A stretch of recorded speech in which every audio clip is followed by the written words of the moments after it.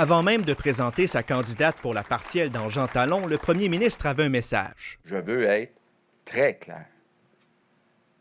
Jamais, jamais il était question, avant l'élection du mois d'octobre dernier, d'abandonner le projet de troisième lien.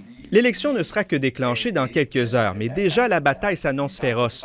Le candidat péquiste Pascal Paradis a laissé entendre que la CAQ savait déjà aux dernières élections que le projet de tunnel mourrait quelques mois plus tard. J'ai bien des défauts, mais pas celui, pas le défaut d'être malhonnête.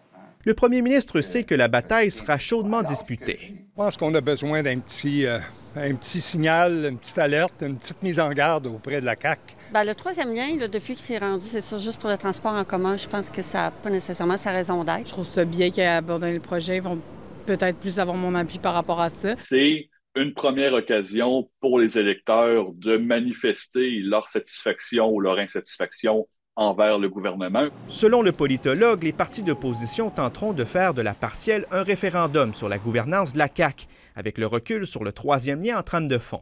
Il y a aussi une impression de ne pas s'être fait dire la vérité. Et ça, ben, c'est une arme intéressante entre les mains des oppositions. Marie-Annick Chouari.